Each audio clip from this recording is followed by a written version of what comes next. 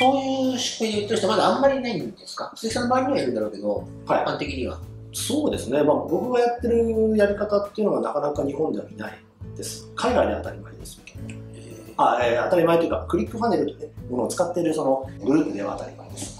だからこそ売れてるんですよね。うん、それはだから今までのもう売り方とは違う価値の提供をそうですね。やらないと本当置いてかれますね。そうですね。あの、日本の人たちって、あの特に Facebook とかで、いろいろ Facebook ライブで、あの、対談とかめっちゃやってるじゃないですか。ああいう人たちって、もう、とにかく儲けたい、稼ぎたいから、すぐに数十万とか、やや高額なものをいきなりしてくるんですよ。価値の提供もしてない。でも、そうじゃなくて、やっぱり段階的に価値をちゃんと提供していって、うん。価値を感じた人に買買ってもらわなければ絶対にうまくいかないんですけどその商品とお金と価値結果そういったものをあのあんまりよく分かってない。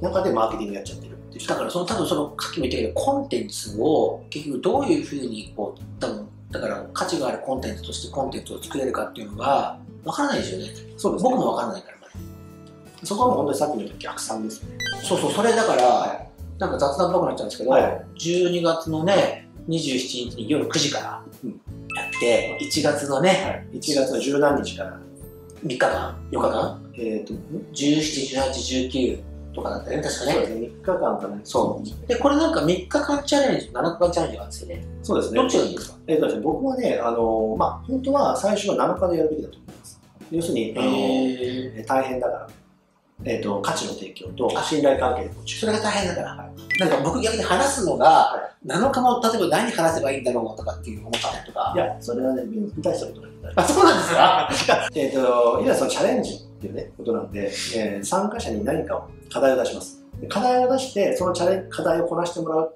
て、達成してもらう。で、達成しました。達成したということは、あなたは次のステージに行く準備が、これでもうできました。おめでとうございます。じゃあ次行きましょう。っていうのがチャレンジです。はい。で、それなんですけど、あの、それって、まあ、言っちゃえば、課題だけ言えばいいんですよ。本当はね。今日の課題はこれです。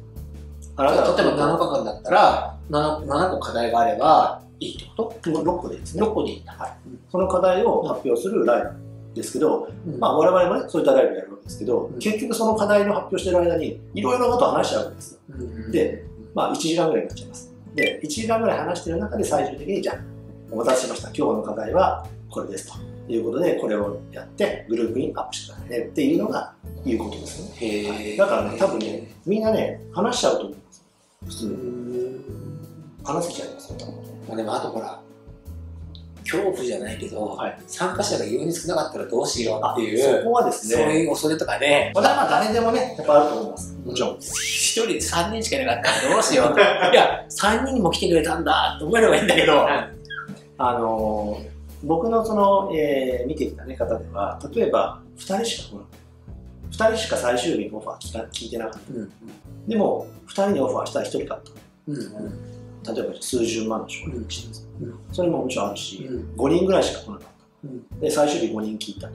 で、その中で3人買った。うん数十万の商品。うんそういったのもあるので、うんなのでまあ別に参加者の人数っていうのは気気にしちゃダメ。ただ、ただですよこれはそうなっちゃう理由があるんですよ。あそうなんだあります。これは何でかというと、いくら販売したいのか、いくら例えば変な言い方で稼ぎたいのか、そこが明確じゃないからですよ。うん何人に対して何人販売したい。でう、んその販売した何人が次のその販売した講座の中で、えーこなしていって、そこからさらに一番最終的な商品何人が買うのか、そこまで計算します。じゃあ僕はこの後、はいそれを推薦に言えばいいんそうです。まあ、スパッと自分の気持ちを全部赤裸々に。じゃあもう P が入らず出てっちゃうんだ。はいな、俺の裏側が全部これでバレてしまうと。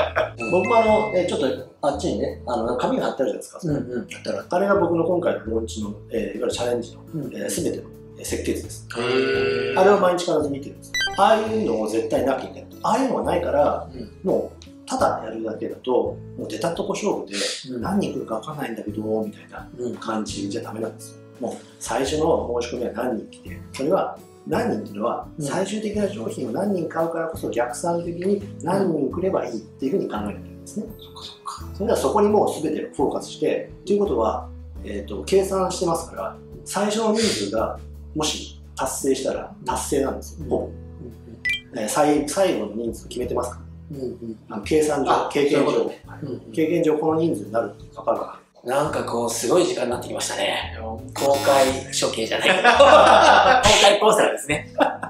でもこうやって、やっぱりこう新しいものの売り方、やっぱ物が売れなくてね、今悩んでて、自分の商売でやっぱりこう自利品でどうやって価値伝えていこうかとか、どうやって本当にね、物物物を売っていこうかってことがわかんない人に、ぜひ見てもらってね、同じようにね、こう真似してもらって、なんかこう売れる、あ、俺もこれできるんじゃないかって思ってもらったらね、今回の動画も価値があると思うし、そうですね。まあ、また逆に僕の商品を欲しいと、ね、来てくれる人もいるかもしれませんし、っていう感じで、